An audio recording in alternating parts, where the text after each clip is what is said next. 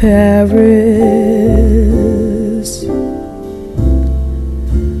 chestnuts in blossom, holiday tables under the trees.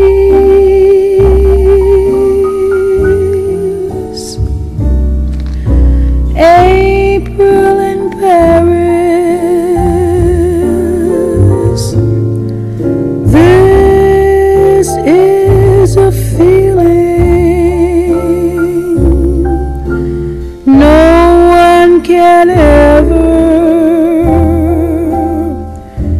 repeat.